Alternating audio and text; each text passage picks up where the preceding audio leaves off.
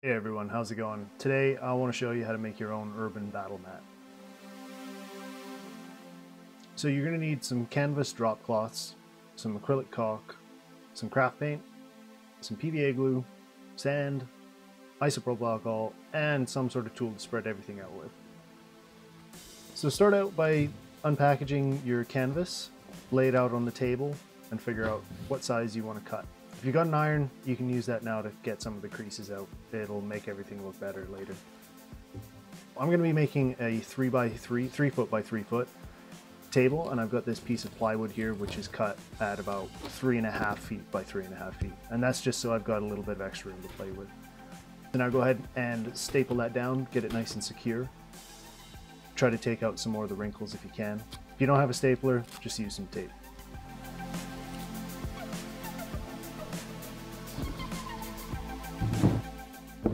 Go. Ready for texture. Go ahead, get yourself a container, decant out your acrylic caulk. Uh, I think I used two and a half tubes for this project. And it doesn't really matter what color your caulk is, we're going to be adding paint to it later. Nice neutral color is good. Add a little bit of isopropyl alcohol. The reason you do this is to dilute the, uh, the caulk down a bit, thin it out, which will help it spread out and it'll also make your material go a bit further. So now I've added some black paint and some sand. Didn't make it into the footage, but I added a little bit of PVA glue to this as well. And then just go ahead and stir that up. So once you got it mixed up, get yourself a scrap of canvas and try out mixture. It's a good idea to test these out before you go to your main project, uh, just because then if you need to add more sand, you can do it here. And that looks pretty good. That's what I'm going for.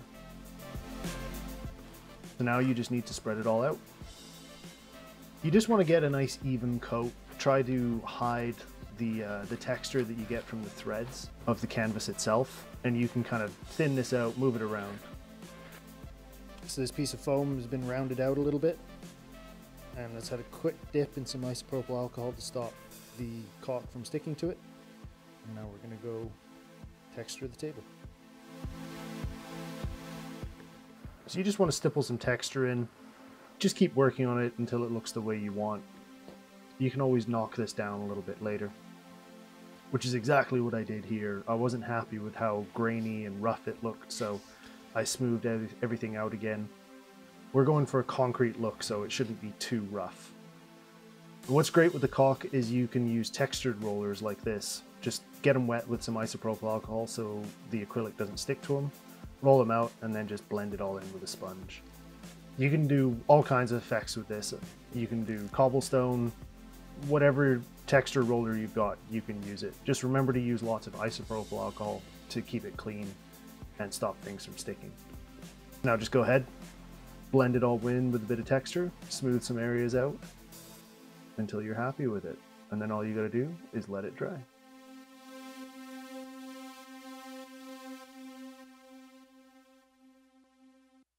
Okay, this has had all night to dry. It's all good to go. Ready to start painting.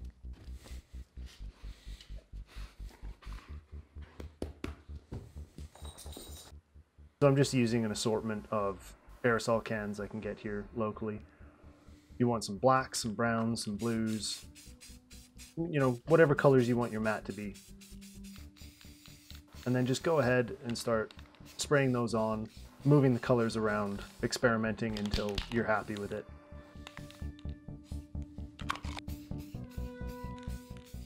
And don't forget that when you've built up your light colors, you can go back in with your dark colors again and create some shadows and some depth. Now here I've got some stencils. Um, I found these on ArtStation, I think it was. They're just in a decal pack. And I printed them out on matte printer paper or satin printer paper, cut the shapes out, and then started laying them out on the table. And these are just generic sci-fi.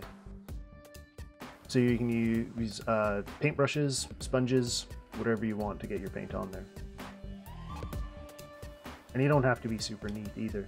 You could also, you know, rather than just traffic signs or shapes, you could do graffiti, whatever you wanted. And then once that's all on there, you want to blend it all in a little bit with your spray paint again, make everything look a bit old and worn rather than brand new. And once all that's dried, I came in with some um, some black wash that I made with water and ink and a little bit of black paint. And I'm splatting that in and rubbing it around to get some of that kind of old oil and dirt and things that have collected on the roads. And then I also just splattered some of it in in puddles and let that dry. If you're impatient, you can also use a hairdryer. And then I went in again and just touched up some of the areas to make them a little bit darker.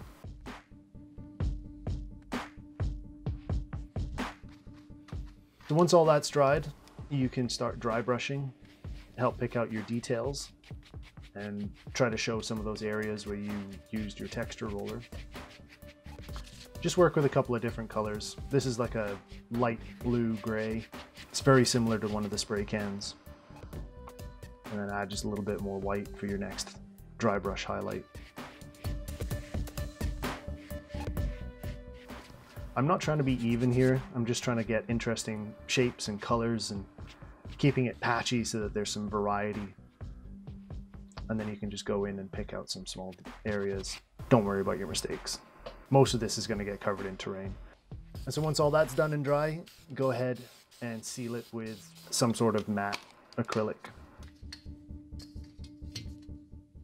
So now you want to lay out for your cuts. Like I said earlier, this is a three by three table. So I'm laying out one line and then I'm marking a parallel line on the other side, three feet apart.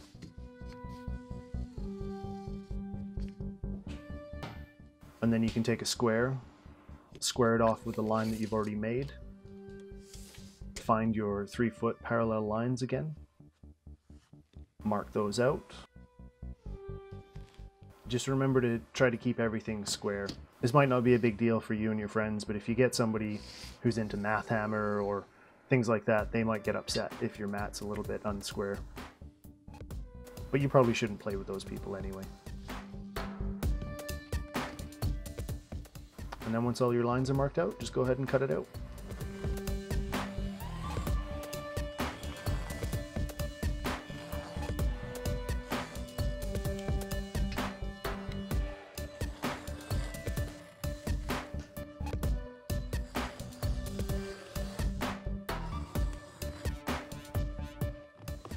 And there you have it. Your 3x3 urban cyberpunk sci-fi battle mat.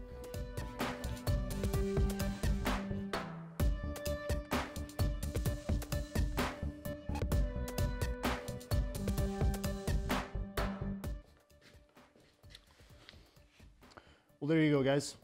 That's how you make your own battle mat.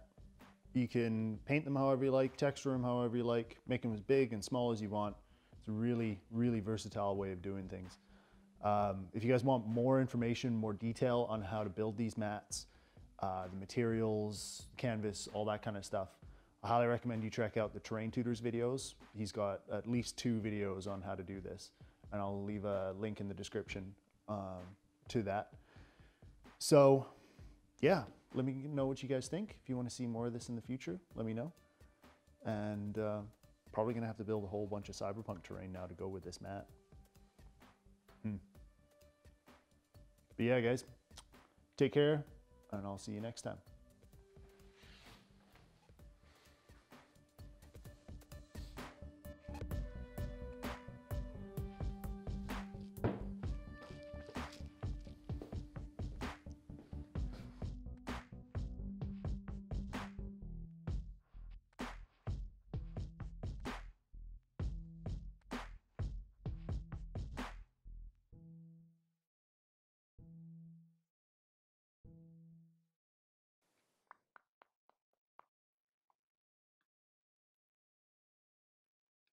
Make them kiss.